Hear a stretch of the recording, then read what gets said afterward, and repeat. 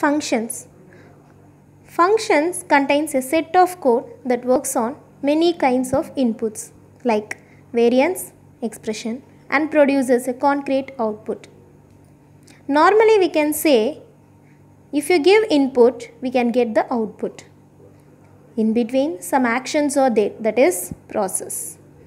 So in this diagram input, process, output. Look at the example. In this diagram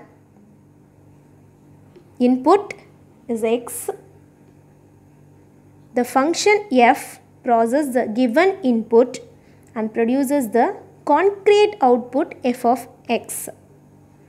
Let us see another example. It is a real lifetime example for function. When we want to fill the tank with fuel, we need to pay some money. The input is the number of liters of fuel. What is the function? Filling the tank. What is the output? We need to pay certain amount of money for the fuel that we fill.